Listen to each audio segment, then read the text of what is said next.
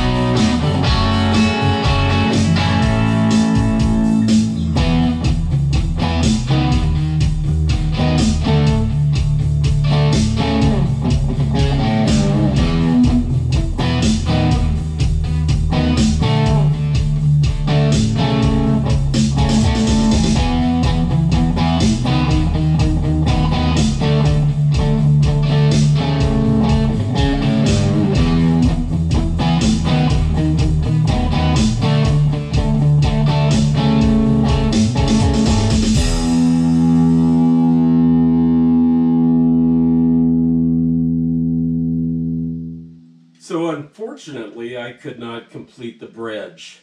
As good as the Trio Plus is, it does have some limitations. And some of the limitations that I found was songs that have a break. The drums keep playing on this thing, so there's no function on trying to set up some kind of a break. And the bridge on this song is the really nice one that goes...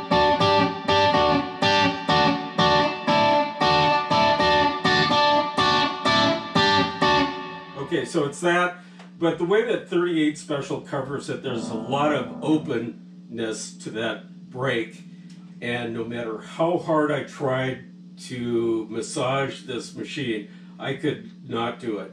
The good news is that the basic rhythm track is going to be great for me to practice my E major soloing. So hope you enjoyed this. Thank you for watching.